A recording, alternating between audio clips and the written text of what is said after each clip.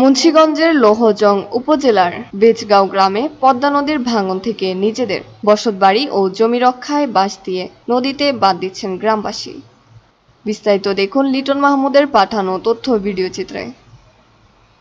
দুই দিন যাবৎ ওই গ্রামের অর্ধ শতাধিক মানুষ স্বেচ্ছায় এই বাঁধ নির্মাণ করে চলেছেন। গ্রামের কৃষক হোসেন সর্দারের উদ্যোগে গ্রামবাসীর নিজেদের অর্থায়নে এই বাঁধ নির্মাণ কাজ চলছে। নদীতে বাঁশ পুঁতে বেড়া নির্মাণ করে চটের বস্তার মধ্যে বালু ভরে ওই বেড়ার মধ্যে ফেলে নির্মাণ হচ্ছে এই বাঁধ। স্বেচ্ছায় বাঁধ নির্মাণকারী যুবক নীরব আহমেদ জানান, গ্রামবাসীর অর্থায়ন ও শ্রমে নদীর তীরে বাদ দিয়ে আমরা আমাদের জমি ও বাড়িঘর রক্ষার চেষ্টা করছি।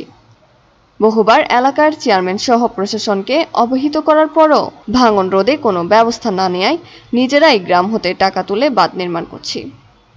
যে সমস্ত এলাকাগুলি নদীতে বেশি ভাঙছে, আপাতত সেই স্থানগুলো দিয়ে বাঁধ নির্মাণ চলছে।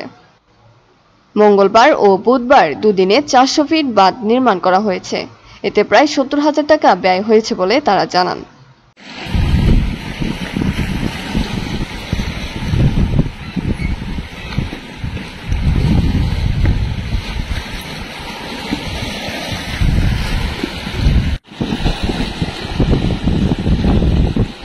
এ ব্যাপারে লোহজং উপজেলার বেজগাঁও ইউনিয়নের চেয়ারম্যান আলী হোসেন তালুকদার জানান। ভাঙনের বিষয়টি আমি উপজেলা নির্বাহী কর্মকর্তাকে অবহিত করেছি।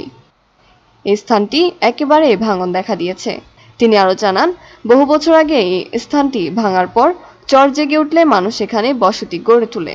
এখন আবার ফের ভাঙন দেখা দিয়েছে।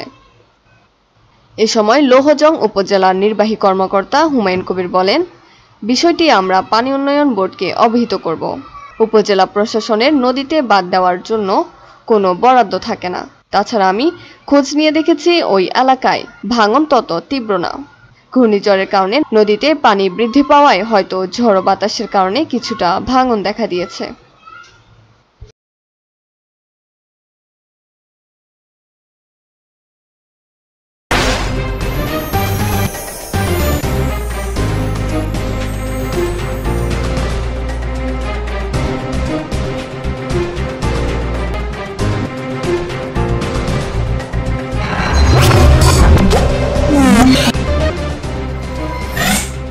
দেব টিভি চেতনায় একাত্তর হৃদয় স্বদেশ।